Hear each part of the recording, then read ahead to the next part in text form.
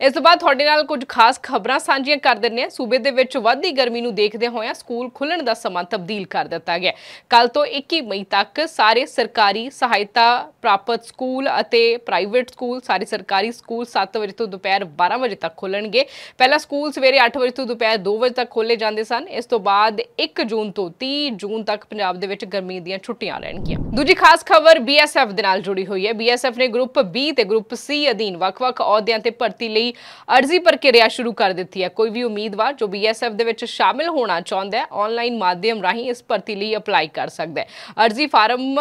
ਭਰਨ ਦੀ ਤਾਰੀਖ ਮਿਤੀ 17 ਜੂਨ 2024 ਰੱਖੀ ਗਈ ਹੈ ਜੋ ਕਿ ਆਖਰੀ ਤਰੀਕ ਹੈ ਐਪਲੀਕੇਸ਼ਨ ਫਾਰਮ ਬੀਐਸਐਫ ਦੀ ਅਧਿਕਾਰਿਤ ਵੈਬਸਾਈਟ rec.bsf.gov.in ਤੇ ਜਾ ਕੇ ਭਰਿਆ ਜਾ ਸਕਦਾ ਹੈ ਇਸ ਦੇ ਨਾਲ ਹੀ ਤੁਹਾਡੀ ਸਹੂਲਤ ਲਈ ਇਸ ਪੇਜ ਤੇ ਐਪਲੀਕੇਸ਼ਨ ਦਾ ਡਾਇਰੈਕਟ ਲਿੰਕ ਵੀ ਦਿੱਤਾ ਗਿਆ ਉਧਰ ਸ਼ਨੀਵਾਰ ਨੂੰ ਪੰਜਾਬ ਦੇ ਵਿੱਚ ਪਾਰਾ 44 ਡਿਗਰੀ ਤੱਕ ਪਹੁੰਚ ਗਿਆ ਸੀ ਜਿਸ ਕਰਕੇ ਬਿਜਲੀ ਦੀ ਮੰਗ 13000 ਮੈਗਾਵਾਟ ਤੋਂ ਵੱਧ ਗਈ ਹੈ ਸੂਬੇ ਦੇ ਵਿੱਚ ਮੰਗ ਪੂਰੀ ਕਰਨ ਦੇ ਲਈ ਪੀਐਸਪੀਸੀਐਲ ਨੇ 7500 ਮੈਗਾਵਾਟ ਬਿਜਲੀ ਕੇਂਦਰੀ ਪੂਲ ਤੋਂ ਹਾਸਲ ਕੀਤੀ ਜਦਕਿ ਇੱਕ ਸਰਕਾਰੀ ਥਰਮਲ ਦੇ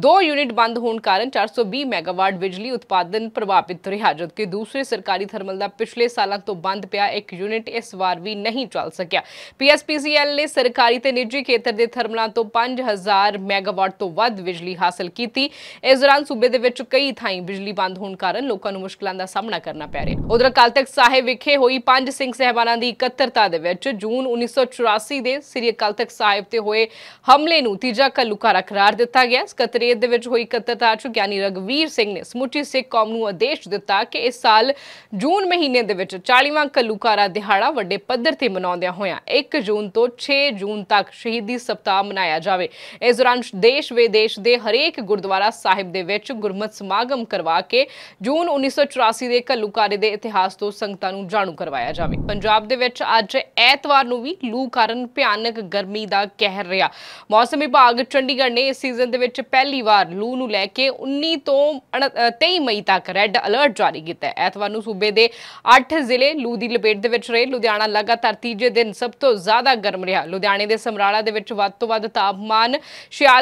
46.1 ਡਿਗਰੀ ਸੈਲਸੀਅਸ ਦਰਜ ਕੀਤਾ ਗਿਆ ਜੋ ਆਮ ਤੋਂ 5 ਡਿਗਰੀ ਸੈਲਸੀਅਸ ਵੱਧ ਸੀ ਪਠਾਨਕੋਟ ਤੇ ਪਟਿਆਲਾ ਦੇ ਵਿੱਚ ਵੀ ਵੱਧ ਤੋਂ ਵੱਧ ਤਾਪਮਾਨ 45 ਡਿਗਰੀ ਦਰਜ ਕੀਤਾ ਗਿਆ ਇਸ ਤੋਂ ਇਲਾਵਾ 6 ਜ਼ਿਲ੍ਹਿਆਂ ਦੇ ਵਿੱਚ ਤਾਪਮਾਨ 44 ਡਿਗਰੀ ਸੈਲਸੀਅਸ ਤੋਂ ਉੱਪਰ ਰਿਹਾ ਸੂਬੇ ਦੇ ਵਿੱਚ ਰਾਤ ਦਾ ਮੌਸਮ ਵੀ ਗਰਮ ਚੱਲ ਰਿਹਾ ਜ਼ਿਆਦਾਤਰ ਜ਼ਿਲ੍ਹਿਆਂ ਦੇ ਵਿੱਚ ਰਾਤ ਦਾ ਤਾਪਮਾਨ 27 ਤੋਂ 28 ਡਿਗਰੀ ਸੈਲਸੀਅਸ ਵਿਚਾਲੇ ਰਿਹਾ ਮੋਹਾਲੀ ਦੇ ਵਿੱਚ ਘੱਟੋ ਘੱਟ ਤਾਪਮਾਨ 29.3 ਡਿਗਰੀ ਸੈਲਸੀਅਸ ਦਰਜ ਕੀਤਾ ਗਿਆ ਜੋ ਕਿ ਆਮ ਤੋਂ 6 ਡਿਗਰੀ ਵੱਧ ਸੀ ਸੂਬੇ ਦੇ ਵਿੱਚ ਲੂ ਕਾਰਨ ਆਸਮਾਨ ਤੋਂ ਅੱਗ ਵਾਰ ਰਹੀ ਹੈ ਦੁਪਹਿਰ ਵੇਲੇ ਵਾਹਨ ਚਾਲਕਾਂ ਲਈ ਧੁੱਪ ਦੇ ਵਿੱਚ ਨਿਕਲਣਾ ਮੁਸੀਬਤ ਵਾਲਾ ਰਹਿੰਦਾ ਹੈ 12 ਵਜੇ ਤੋਂ ਸ਼ਾਮ 5 ਵਜੇ ਦੇ ਵਿਚਾਲੇ ਸੜਕਾਂ ਤੇ ਚਹਿਲ ਪਹਿਲ ਬਹੁਤ ਘੱਟ ਦਿਖਾਈ ਦਿੰਦੀ ਹੈ ਤੇ ਜਦੋਂ ਵੀ ਕੋਈ ਬਾਹਰ ਨਿਕਲਦਾ ਹੈ ਤਾਂ ਮੂੰਹ ਸਿਰ ਪੂਰੀ ਤਰ੍ਹਾਂ ਟੱਕ ਕੇ ਹੀ ਬਾਹਰ ਨਿਕਲਦਾ ਹੈ ਉਧਰ ਦੇਸ਼ ਦੀ ਰਾਜਧਾਨੀ ਦਿੱਲੀ ਦੇ ਵਿੱਚ ਵੀ ਹਾਲਤ ਗਰਮੀ ਕਾਰਨ ਵੱਧ ਤੋਂ ਬੱਤਰ ਹੋਣ ਲੱਗੀ ਹੈ ਦਿੱਲੀ ਦੇ ਨਾਲ ਲੱਗਦੇ ਨੋਇਡਾ ਗੁਰੂਗ੍ਰਾਮ ਤੇ ਫਰੀਦਾਬਾਦ ਦੇ ਵਿੱਚ ਵੀ ਤਾਪਮਾਨ 46 ਤੋਂ 47 ਡਿਗਰੀ ਦਰਜ ਕੀਤਾ ਜਾ ਰਿਹਾ ਹੈ ਆਈਐਮਡੀ ਨੇ ਦਿੱਲੀ 'ਚ ਰੈੱਡ ਅਲਰਟ ਜਾਰੀ ਕਰਦਿਆਂ ਕਿਹਾ ਹੈ ਕਿ ਤਾਪਮਾਨ